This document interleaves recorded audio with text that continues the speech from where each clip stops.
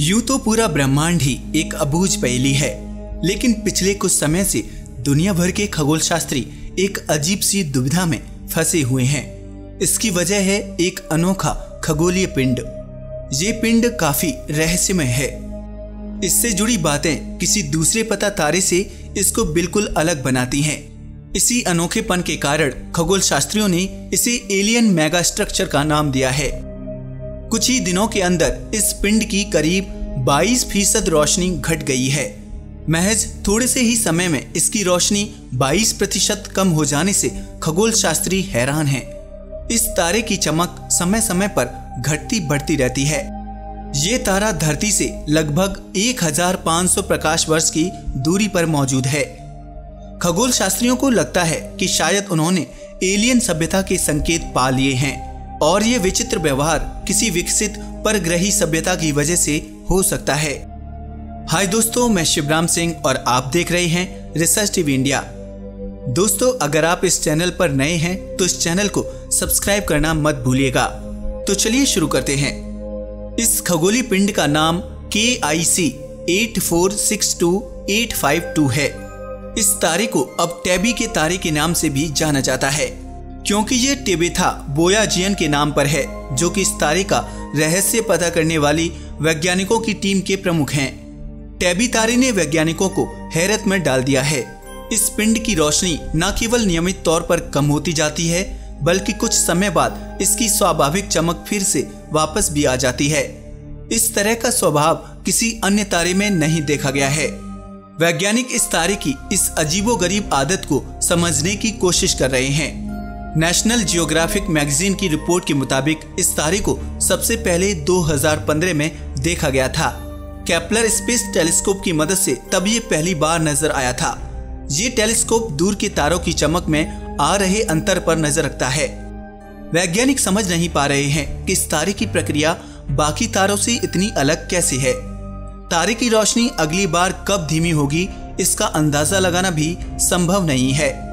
कई खगोल शास्त्री इसके लिए अलग अलग थ्योरीज बता रहे हैं, लेकिन अभी तक कोई भी थ्योरी इसे ठीक तरह से नहीं समझा सकी है। कोई भी नहीं जानता कि ये तारा थोड़े थोड़े समय बाद मंद क्यों हो जाता है, और इसकी रोशनी मंद हो जाने का नियम क्या है? रोशनी मंद हो जाने के बाद तारे पर क्या होता है, ये भी नहीं समझा जा सका है। कुछ वैज्ञानिकों का कहना है कि इस तारे के सामने से जब धूमकेतु गुजरते होंगे तो इसकी रोशनी मंद दिखती होगी। वहीं कुछ का कहना है कि इसके पास स्थित ग्रह टूट गए हैं और उनके टूटे हिस्सों के बीच में आ जाने के कारण ये तारा ठीक से नहीं दिख पा रहा है। येल यूनिवर्सिटी की एक खगोल वैज्ञानिक टबेथा बोया जियान का कहना है कि हमने अभी तक ऐसा अनोखा तारा नहीं देखा था। पहले हमने सोचा कि डेटा में कुछ गड़बड़ी है लेकिन बाद में हर चीज़ को बारीकी से जांचने के बाद बोया जोन की टीम ने तारे की रोशनी में उतार चढ़ाव में अनोखा पैटर्न पाया और इसके संभावित कारण खोजने की कोशिश की। ऑब्जर्वेशन के दौरान तारे की चमक में 22 प्रतिशत की कमी देखी गई। इस अजीबोगरीब प्रकाशी पैटर्न की वजह से रिसर्चरों ने इस तारे को अनोखे तारे की श्रेणी में रखा। कैप्लर स्पेस टेलीस्कोप ने करीब एक लाख पचास हज़ार तारों पर नज़र दौड़ाई है। लेकिन उसे ऐसे अनोखे पैटर्न वाला कोई और तारा नहीं दिखा। आपको बता दें कि ये तारा नासा के कैप्लर अभियान के तहत खोजा गया है। कैप्लर अंतरिक्ष वेधशाला तारों के निरीक्षण के समय उनके प्रकाश में आने वाली कमी को महसूस कर लेता है। अगर किसी तारे की रोशनी में कमी आती है तो उसके कई कारण हो सकते हैं। जिनमें से सबसे प्रमुख है, उस तारे के पास एक या एक से अधिक ग्रहों की उपस्थिति। जिनका परिक्रमा पथ पृथ्वी और उस तारे के मध्य है।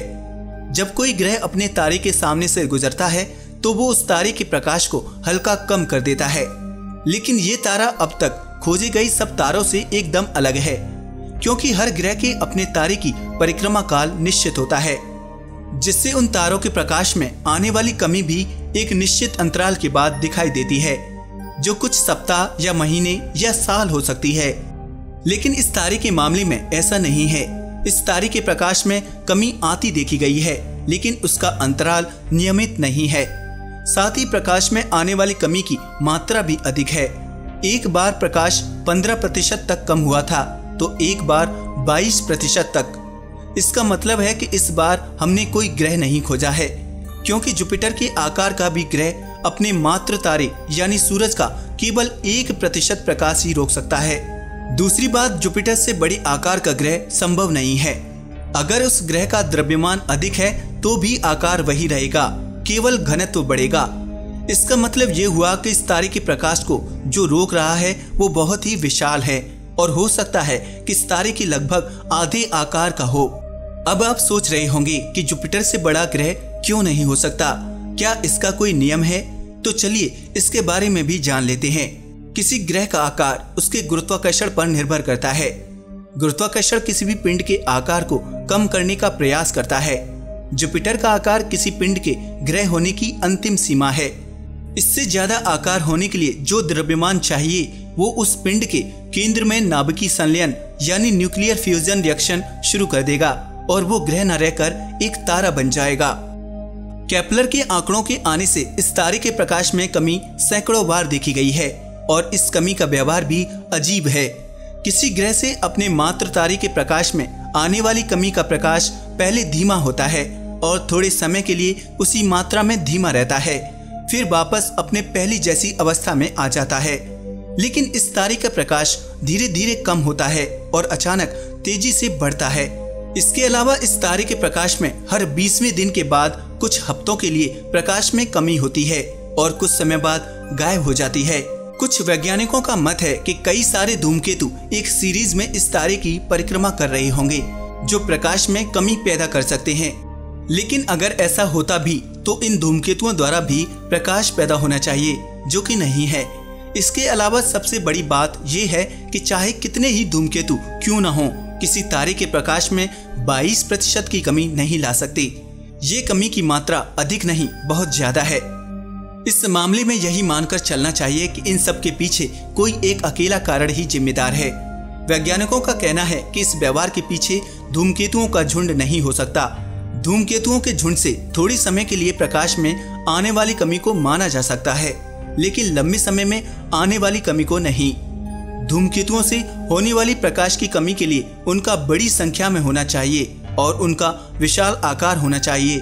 साथ ही उनके बीच टकराव से मलबे का निर्माण भी होना चाहिए। धूमकेतुओं से ये सब संभव नहीं है, इसलिए इस संभावना में दम नहीं है। एक अन्य संभावना के अनुसार, ये प्रभाव किसी एलियन सभ्यता के द्वारा निर्मित हो सकता है। इसकी संभावना वैसे तो बहुत कम है, लेकिन असंभव नहीं। और ये संभावना हमारे निरीक्षणों पर खरी उतर रही है। किसी विकसित सभ्यता की ऊर्जा आवश्यकताएँ बहुत ज़्यादा हो सकती हैं। और वे किसी तारे के चारों ओर सौर पैनल का विशालकाय ढांचा बनाकर तारे के प्रकाश का प्रयोग कर सकते हैं। इस तारे के प्रकाश में आने वाली ये कमी उस तारे के सामने से उस विशालकाय ढांचे के गुजरने से पैदा हो सकती है। इस तरह के सौर पैनलों के विशालकाय ढांचे को डायसन गोला कहा जाता है। अब आप सोच रहे होंगे कि आखिर ये डायसन गोला क्या है? इसके बारे में शायद ही आपने सुना हो। तो चलिए इसको भी जान लेते हैं। अगर हम अपनी सभ्यता को देखें तो हमारी ऊर्जा की खपत लगातार बढ़ती जा रही है। हम ऊर्जा के विशाल स्रोतों की खोज में लगे हुए हैं। लेकिन कुछ समय पहले, भौतिक विज्ञानी फ्रीमन डायसन ने ऊर्जा की आपूर्ति के लिए एक नई अवधारणा दी थी। उनके अनुसार, अगर हम सूर्य के चारों ओर ऑर्बिट में कई किलोमीटर बड़े सौर पैनल बनाकर डाल दें तो वे सौर प्रकाश को ऊर्जा में परिवर्तित कर पृथ्वी पर बीम कर सकते हैं। अगर उससे भी ज़्यादा ऊर्जा चाहिए तो और सौर पैनल बनाकर ऑर्बिट में डालते रहो। लेकिन ये इतना आसान नहीं है, क्योंकि हमारी सभ्यता इतनी विकसित नहीं है। लेकिन कोई विकसित सभ्यता ऐसा ज़रूर कर सकती है। इसी अवधारणा को डायसन गोला नाम दिया गया था। अगर सिंपल वे में समझें तो एक ऐसा विशालकाय गोला, जो किसी दूसरे तारे को पूरी तरह से ढक ले। ये अवधारणा 1970 और 80 के दशक में चर्चा में रही थी। आपको बता दें कि डायसन ने कभी एक पूरे गोले को बनाने की बात नहीं की। उनके अनुसार ढेर सारे सौर पैनल बनाने की बात थी, जो तारे को ढकें और एक विशाल विशालकाय गोले की तरह दिखें। इस तारे पर एलियन है या नहीं, ये अभी स्पष्ट तौर पर नहीं कहा जा सकता। लेकिन ये बात स्पष्ट है कि इस तरह का व्यवहार डायसन गोले के निर्माण की प्रक्रिया से संभव है। जैसे जैसे एलियन सभ्यता नए सौर पैनल का निर्माण कर डायसन गोले में डालती जाएगी प्रकाश में कमी अधिक होती जाएगी और दूर के किसी निरीक्षक को ये कमी समय के साथ दिखाई देती जाएगी। लेकिन इस बात में भी ज़्यादा बल नहीं मिल रहा है। उदाहरण के लिए मान लो 1950 के दशक में प्रकाश में कमी आई, लेकिन अगले कुछ वर्षों में प्रकाश की चमक अपने पुराने स्तर पर आ गई। आखिर ऐसा क्यों हुआ? साथ ही प्रकाश में पिछली सदी से कमी आ रही है। मतलब वे पिछली सदी में सौर पैनल का निर्माण कर डायसन गोले में डाल रहे हैं। इस तारे का व्यास सूर्य से 1.6 गुना है, जो हमारे सूर्य से बहुत अधिक चमकीला है। इस तारे के प्रकाश में 20 प्रतिशत की कमी लाने के लिए सौर पैनलों का सम्मिलित क्षेत्रफल कम से कम 750 अरब वर्ग किलोमीटर होना चाहिए। 750 अरब वर्ग किलोमीटर मतलब पृथ्वी के क्षेत्रफल का 1500 गुना। इसका मतलब इस तरह की परियोजना बहुत लंबी समय तक चलेगी, इसलिए एलियन सभ्यता द्वारा ये संभव नहीं लग रहा। लेकिन इस तारे के विचित्र व्यवहार के पीछे जो भी है, वो हमने अब तक नहीं देखा है। लेकिन इतना तय है कि इस रहस्य को सुलझाने के लिए हमें इस तारे पर और नज़र रखनी होगी। फ़िलहाल वैज्ञानिक इस तारे पर नज़र बनाए हुए हैं। उम्मीद है कि आने वाले समय में इस एलियन मेगा स्ट्रक्चर की पहेली सुलझाने की दिशा में कुछ कदम आगे बढ़ सकेंगे। लेकिन पूरी पहेली सुलझा पाने की संभावना तो फ़िलहाल बहुत दूरी है। दोस्तों, अगर आप टेंशन में हैं और कुछ पल के लिए उस टेंशन को खत्म करना चाहते हैं तो आप हमारे एक एपिसोड निबरू फंस गया है जाम में, नहीं टकराएगा धरती से, को ज़रूर देखें। उम्मीद है कि आप कुछ पल के लिए अपनी टेंशन भूल जाएँगे। उस एपिसोड का लिंक मैंने डिस्क्रिप्शन में दे रखा है। साथ ही आपको स्क्रीन पर भी दिखाई दे रहा है तो उसे देखना मत भूलिएगा। आज के लिए बस इतना ही। अगर वीडियो अच्छा लगा हो तो उसे लाइक और शेयर करें। साथ ही इस चैनल को सब्सक्राइब भी करें। नमस्कार दोस्तों।